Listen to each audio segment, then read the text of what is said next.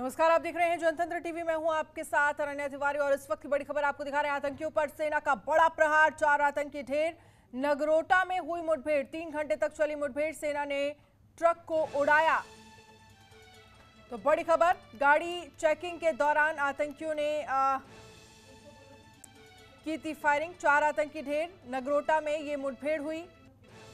सेना ने मार गिराए जैश के चार आतंकी। बड़ी खबर आपको दिखा रहे हैं। तीन घंटे तक चली मुठभेड़ में सेना ने ट्रक को उड़ाया। गाड़ी चेकिंग के दौरान आतंकियों ने की थी फायरिंग। बड़ी खबर आपको दिखा रहे हैं। तो गाड़ी चेक की जा रही थी, जिसके बाद आतंकियों की तरफ़ से फायरिंग की गई और जम्मू कश्मीर में आतंकियों से नगरोटा में मुठभेड़ सेना की हुई। ट्रक में थे आतंकी।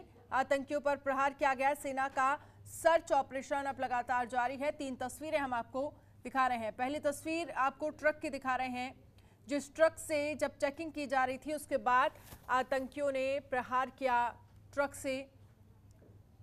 आतंकियों ने ट्रक से हमला किया, जिसके बाद सेना ने आतंकियों पर प्रहार किया। तो ट्रक में ब्लास्ट की ये तस्वीरें हम आपको दिखा रहे हैं। फ़िलहाल हाईवे को बंद कर दिया गया है और सेना की तरफ़ से सर्च ऑपरेशन जारी है। तो हाईवे बंद फ़िलहाल कर दिया गया है। सेना का सर्च ऑपरेशन जारी है। कश्मीर में आतंकियों के ट्रक से जाने की सूचना मिली थी। जम्मू कश्मीर में सुरक्षा बलों को बड़ी कामयाबी मिली है। सुरक्षा बलों ने चार आतंकियों को मार गिराया है। वहीं एसओजी के दो जवान भी इस मुठभेड़ में घायल हुए हैं। घायलों को अस्पताल में भर्ती कराया गया है।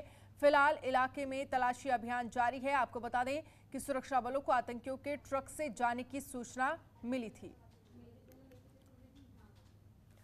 मेजर जनरल ए के चतुर्वेदी हमारे साथ फ़ोन लाइन पर जुड़ चुके हैं। मे, मेजर जनरल ए के चतुर्वेदी जी बहुत बहुत स्वागत है आपका जनतंत्र टीवी पर। पहला सवाल यही है कि जिस तरह से देखा जाए सेना को एक ये बड़ी कामयाबी मिली है। चार आतंकियों को सेना ने मार गिराया है। कैसे देखते हैं आप इसे? देखिए ये ऐसा है कि जो पिछले करीब छह आठ महीने से एक नया जिसको बहुत पॉजिटिव ट्रेंड शुरू हुआ है कि इंटेलिजेंस इनपुट बहुत अच्छे मिल रहे हैं हम्म। जिसकी वजह से जितने ये इंटरनेशनल एलिमेंट्स हैं ये बहुत जल्दी अच्छा इसमें क्या इलेक्ट्रॉनिक सर्वेलेंस का बड़ा होता है जब से ये घुसते हैं भारतवर्ष की सीमाओं में या एलओसी को क्रॉस करते हैं तब से इनकी ट्रैकिंग शुरू हो जाती है। हम्म। और फौज इसमें उसके बाद जो सिक्योरिटी फोर्सेस हैं वो अपना काम करते हैं। तो इसमें मेरे ख्याल में दो तीन चीज़ें हम लोगों को बहुत अच्छी तरह समझनी चाहिए। नंबर वन दैट जो हमारा इंटेलिजेंस नेटवर्क है वो ज़्यादा स्ट्रेंथन हो गया है। नंबर वन नंबर टू हमारा जो वो दोनों electronics as well human intelligence दूसरा ये इंफॉर्मेशन अभी हम लोगों को बहुत कुछ लोकल लेवल से मिल रही है और लोकल हम्म। लेवल से इंफॉर्मेशन मिलने का एक जो बहुत बड़ा जिसको इसका आप इम्प्लीकेशन समझिए कि हम्म। कल तक जहाँ पाकिस्तान से जब ये कश्मीर में हम लोगों को कोई खबर नहीं मिलती थी आज की तारीख में जो खबर मिलती है इसका मतलब लोकल्स भी बिल्कुल सेटअप है हम्म। और ये एक बहुत ही पॉजिटिव ट्रेंड है और अगर यही ट्रेंड चलता रहा तो मेरे ख्याल में कुछ दिनों में जो ये मिलिटेंसी है ये पूरी तरह से डाई डाउन हो जाएगी हाँ। तीसरी चीज़ ये एक बहुत तगड़ा मैसेज ये जैश मोहम्मद और लश्कर तैयबा और पाकिस्तान तीनों को जा रहा है कि आप हिंदुस्तान में आओगे अपने पैरल पे बिल्कुल बिल्कुल और चौथा मैसेज एक और है जो लोकल्स के लिए है हाँ। वो ये है कि आप अपने बच्चों को समझाओ ठीक है हाँ। और अगर वो गलत रास्ते से वापस आएँगे तो उनके लिए अच्छा है। नहीं तो आ, एंड बहुत बुरा होगा। और जहाँ तक फौज का सवाल है वो अपना काम करती रहेगी। हाँ, हाँ। तो अगर आप आ जाओगे तो आप रिहेबिलिटेट हो। जाओगे। हम्म। नहीं तो आपको एंड बहुत ही ट्रेजिक होगा फैमिली के लिए भी अच्छा नहीं होगा और हम्म। बच्चों के लिए भी अच्छा नहीं चलिए बहुत बहुत शुक्रिया हमसे बातचीत करने के लिए। अनुज माथुर हमारे साथ डिफेंस एक्सपर्ट फ़ोन लाइन पर जुड़ चुके हैं। अनुज माथुर जी बहुत बहुत स्वागत है। पहला सवाल यही है कि साफ़ तौर पर कहा जा सकता है एक बड़ी कार्रवाई सेना की तरफ़ से चार आतंकियों को ढेर किया गया और एक जिस तरह से देखा जाए लगातार अब सर्च ऑपरेशन चलाया जा रहा है। इनपुट मिला था सेना को और उस इनपुट को देखते हुए अब सर्च की जा रही थी और सर्च में कहीं ना कहीं एक कामयाबी मिली है। हाँ बिल्कुल आप बिल्कुल ठीक रहे हैं अनन्या। ये जो कामयाबी है ये एक बहुत बड़ा मैसेज है।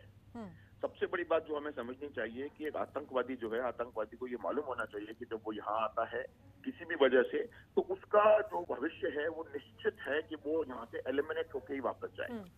ये जो ये जो खबर हमें मिली थी इस खबर पे तुरंत फौरी तौर पर एक्शन लिया गया और चार आतंकवादियों को ढेर कर दिया गया। उससे हमें ये बहुत बड़ा मैसेज हमने भेजा है अक्रॉस पाकिस्तान में अपने लोगों में सेना के माध्यम से कि हम लोग अपना काम करते रहेंगे। और यदि कोई यहाँ पर आकर के जो स्थिति पिछले एक वर्ष में बहुत बेहतर हुई है जम्मू कश्मीर में उसको बिगाड़ने के प्रयास में यहाँ पर आएगा तो उसको यही निश्चित रूप से होगा। जी बिल्कुल ये कहा जा। सकता है साफ़ तौर पर हाँ। कि क्या हश्र होगा वो तस्वीर यहाँ साफ़ तौर पर देख सकते हैं। बिल्कुल और और और इस बात से इसका एक और बात हमें समझनी चाहिए कि हमारे पास इंफॉर्मेशन लगातार आ रही है।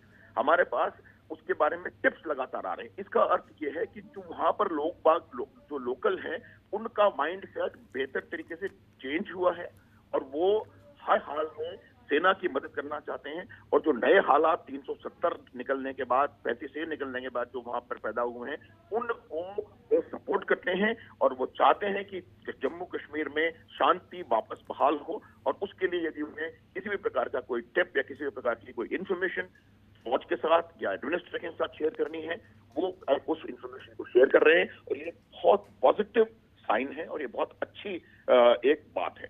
बिल्कुल और कहीं ना कहीं साफ़ तौर पर कहा जा सकता है जैश के आतंक आतंकवादियों के लिए चेतावनी है कि अगर आप देश में घुसेंगे या इस तरह की किसी भी नापाक साजिश रचने की कोशिश की जाएगी तो उनका क्या हश्र होगा? ये तस्वीर बता रही है।